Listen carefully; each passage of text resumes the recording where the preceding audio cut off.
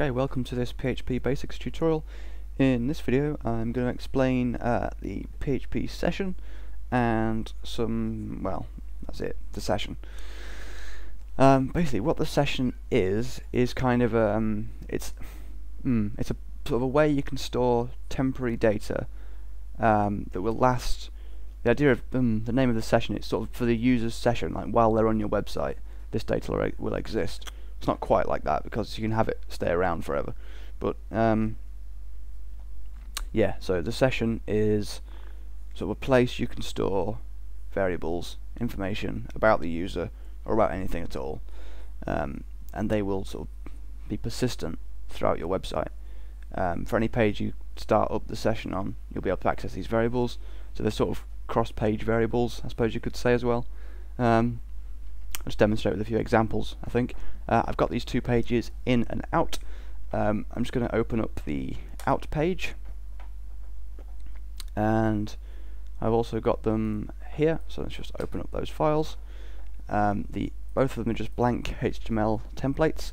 So in the out page what we are going to do is at the top I'm going to start a new PHP block.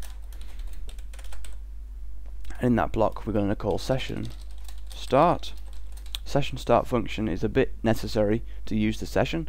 Um, basically what this function does is it gets the current session data from however you've set it up to store, usually it's files. So if you say so um, basically session data is stored in a file, so what the session start function does is get that data out of the file and populate the session variable, which we'll talk about in a minute.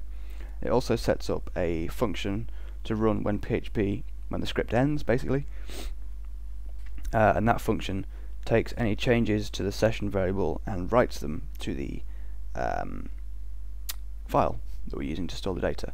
So yeah, when you're using the session, call session start. Um, this function does need to send some sort of headers, so as with any function that needs to send needs to send headers, you can't call it after any output. That will result in an error. Cannot send session cache limiter headers already sent output blah blah blah blah blah and tells you where the output is, has started, which is kind of handy. Um, output started at file name, and then after the semi after the colon, it's line the line number, so line 12. Okay, so um, that's that. So what we're going to do is put that back. Um, I won't explain the reason why that is true in the for this video because I want to keep it short and just about the session. So if you feel like you need to know, you can look it up on php.net. Um, the page for the header function has some good information on why that is like that, and a few ways around it as well. The best way around it is obviously just to reorder your code so that headers come first, but there are some workarounds you can use. Um, anyway, I won't talk about those for now. Okay, so the session. Um, the session is a super global variable. Um, that variable specifically. The most common thing to do with that variable is to um, use it as an array. So you would store like elements, for example, test equals rand. I don't know why. Um, random rand function, by the way, is a random number generator. It'll generate a random number. Um, so yeah, just in case you don't know what that is. Um, what that will do, um, the, mm, the terminology for this is a little bit odd. Usually, sort of this as a whole with the key is referred to as a session variable. Um, what it actually is is an element in the session array, but I'm going to call them session variables.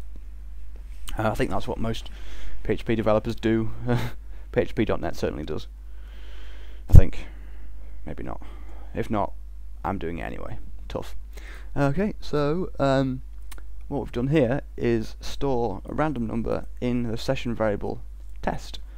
So what we can do then is output that. So say we can do um, just in some paragraph tags. We can have oops, PHP echo session test. If I reload the page, you see we get random numbers just forever. Um, so that's that. Although obviously using the session for this is a bit pointless because obviously this would work with any other variable.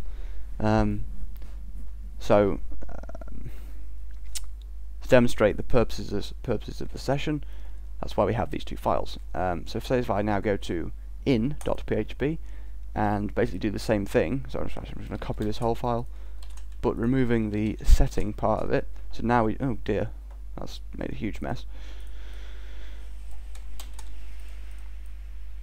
Yeah, so now all we're doing is starting a new session and then trying to output this variable um, like so.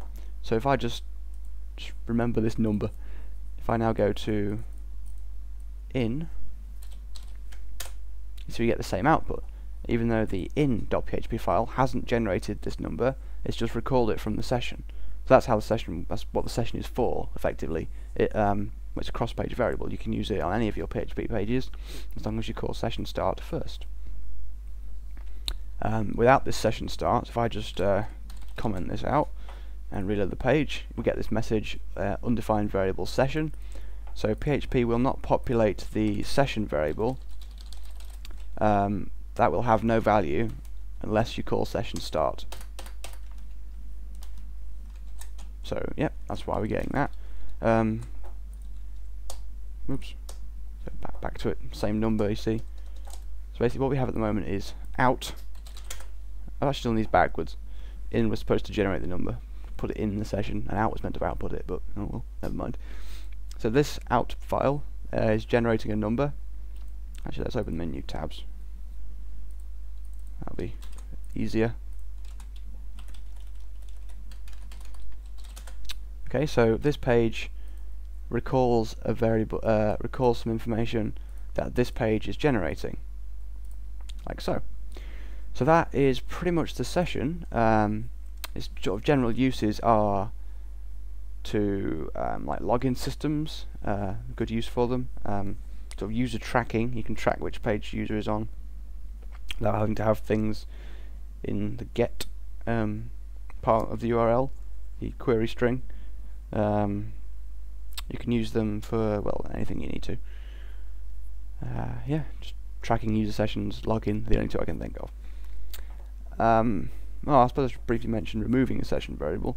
Say if you want to get this out of the session, you can just use the unset function as usual for a variable unset.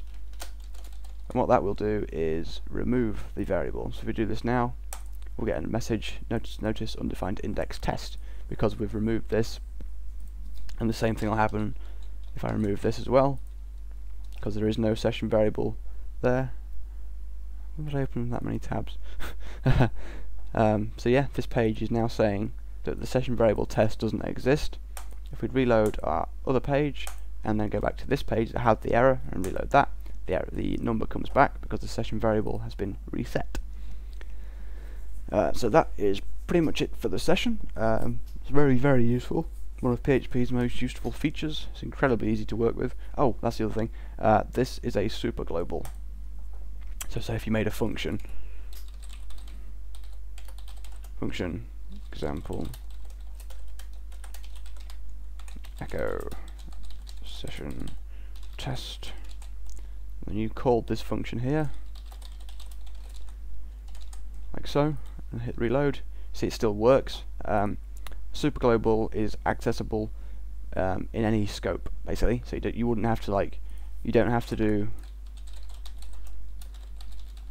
that which looks silly actually what will that do nothing um, so yeah uh, PHP, uh, in PHP the session variable is a super global so you don't need to define it as global to use it inside a function so yeah that is that is actually it for the session. Um, hopefully you found this useful uh, and thank you for watching.